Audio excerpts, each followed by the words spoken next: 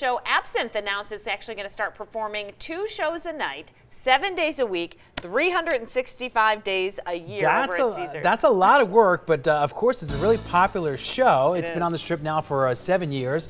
It's going to start this whole new schedule on May 14th, and you can catch the show over at uh, Caesars Palace under the big top. I have yet to go, but Dana Roselli, you keep telling me it's something uh, my wife and I definitely got to go yeah, see. and a group of friends or family because it's really funny. It's outrageous, but the talent is it's incredible. I've seen it a number of times, and I can't believe it's been here for seven years. But they said, yeah, they're going to be working Christmas Day, Super Bowl Sunday. They're never having a day off. Uh, two shows a night. Mm-hmm. Hey, so strike while the iron is hot, right? exactly good.